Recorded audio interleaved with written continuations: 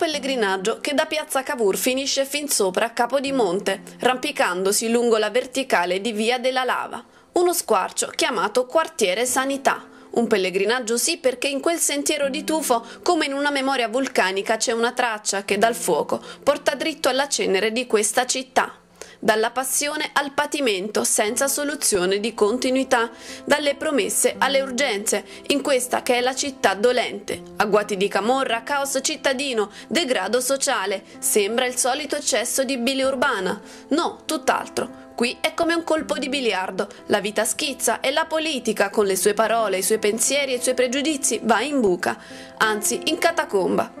Già, bisognerebbe ricordarselo che sotto questi vicoli batte l'anima sotterranea di Napoli. Venite ed espiate. La sanità è il purgatorio napoletano. Il nostro pellegrinaggio inizia da un cancello chiuso, guardato a vista da una Fiat Punto, un'auto guardiana dell'aldilà. Che strano, davanti ad un cimitero non è sosta vietata, semmai è sosta blasfema. Siamo in uno dei più importanti attrattori turistici di Napoli, nel bel mezzo del rione Sanità, il cimitero delle Fontanelle. Una storia incredibile di abbandono, di noncuranza da parte delle istituzioni, perché il cimitero eh, apre solo in pochi giorni dell'anno, non esiste un accesso permanente, non è stato eh, valorizzato il sito per i turisti che volessero visitarlo, una zona che ha un fascino esoterico incredibile e che adesso è solo il cimitero delle speranze dei cittadini napoletani. A pochi passi da noi c'è il cimitero delle Fontanelle. Uh, lei è uno dei residenti qui della zona, sì, sì. ma di turisti ne vede? E intanto intanto ne vengono, però tornano indietro perché è chiuso il cimitero. Eh, ma è chiuso da tanto tempo? Eh, dicono sempre che ci sono lavori in ripristino, poi non aprono in fin di conto in effetti una reale apertura permanente non c'è stata? No, non c'è stata, tipo il mese di maggio, queste cose qua, poi ogni tanto per appuntamento, ma raramente comunque. Questo cimitero è un attrattore turistico, di turisti ne vedete? No, fino adesso niente ancora. Perché? Eh, non si sa, il cimitero apre, chiude, fanno quello che vogliono loro. Uh, le istituzioni sono presenti, hanno, hanno, fatto delle promesse, hanno detto che aprirà? No, fino adesso niente ancora.